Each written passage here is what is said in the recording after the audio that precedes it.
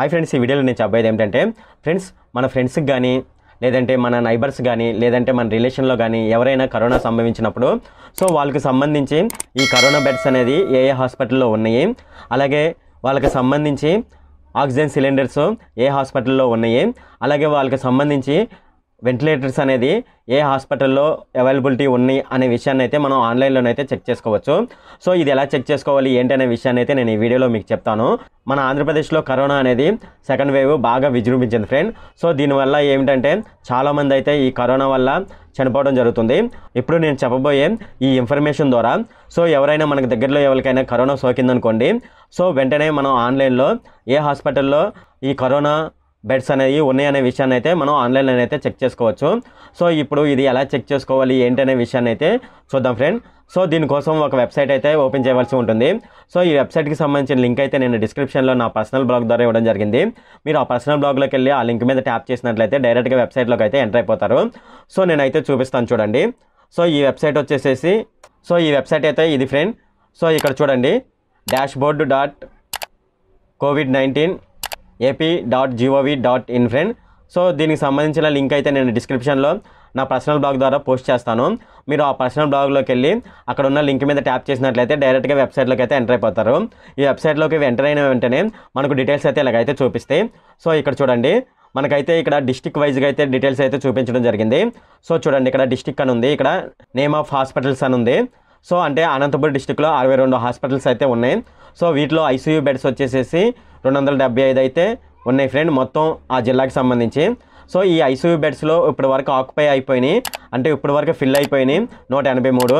Present availability ఉన్నాయి తొంభై రెండు అనమాట సో ఇది డిస్టిక్ వైజ్గా ఇన్ఫర్మేషన్. అలాగే ఓటు జనరల్ బెడ్స్ అని ఉంది. సో అంటే ఆక్సిజన్ జనరల్ బెడ్స్ అని ఉంది. సో ఇవి వచ్చేసి పదిహేను వందల ముప్పై ఉన్నాయి. సో మొత్తం ఆక్యుపై అయిపోయినాయి పదకొండు వందల ఐదు మాత్రమే. సో ఇక్కడైతే నాలుగు వందల ఇరవై ఐదు బెడ్స్ అయితే ఉన్నాయి. సో ఇది జిల్లా వైజ్గా రిపోర్టు. అలా కాకుండా జిల్లాలో ఉన్న హాస్పిటల్ వైజ్గా రిపోర్ట్ కావాలంటే సో మనం చేయవలసింది ఏంటంటే ఇక్కడ చూడండి కృష్ణా అని ఉంది కదా. నేను ప్రజెంట్ అయితే కృష్ణా జిల్లాకి సంబంధించిన రిపోర్ట్ అయితే మీకు ఇస్తాను. సో ఈ కృష్ణా అనే దాని మీద ఒకసారి ట్యాప్ చేయండి. సో ఇక్కడ చూడండి ఈ కృష్ణా జిల్లాకి సంబంధించిన హాస్పిటల్ లిస్ట్ మొత్తం మనకైతే ఇక్కడైతే డిస్ప్లే చేయడం జరుగుతుంది.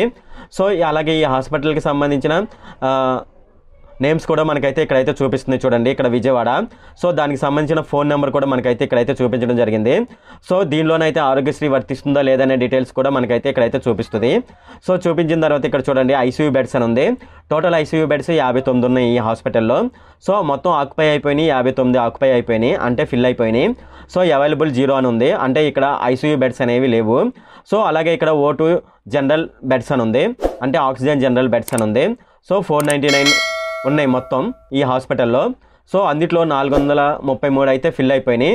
ప్రజెంట్ అయితే అరవై ఆరు ఆక్సిజన్ సిలిండర్ బెడ్స్ అయితే అవైలబిలిటీ ఉందని ఇక్కడైతే చూపిస్తుంది. అక్కడే జనరల్ బెడ్స్ కూడా అయితే ఇక్కడైతే చూపిస్తుంది. అలాగే వెంటిలేటర్స్ కూడా మనకైతే ఇక్కడైతే చూపిస్తుంది. ఎనభై ఒక్క వెంటిలేటర్స్ ఈ హాస్పిటల్ అయితే ఉన్నాయని. సో ఇలా ఇలా అయితే మనకు హాస్పిటల్ వైజ్గా అయితే ఇలా చెక్ చేసుకోవచ్చు. ఇలా చెక్ చేసుకొని అవసరమైతే ఫోన్ చేసుకొని వాళ్ళకి. అలాగే ఇక్కడ ఫోన్ నెంబర్స్ కూడా ఉన్నాయి. సో ఈ ఫోన్ నెంబర్లకి ఫోన్ చేసుకొని సో కన్ఫర్మ్ చేసుకొని ఎవరికైతే మనకు దగ్గరలో కరోనా పేషెంట్లు ఉన్నారో వాళ్ళని ఆ దగ్గరలో ఉన్న హాస్పిటల్లో అయితే జాయిన్ చేయడానికి అయితే వీలైతే కుదురుతుంది. సో దీనివల్ల ఎ- ఎవరో ఒక ప్రాణాన్ని అయితే మనం రక్షించిన వాళ్ళ అవుతాం ఫ్రెండ్ సో ఈ విధంగానైతే మీరు చేయండి.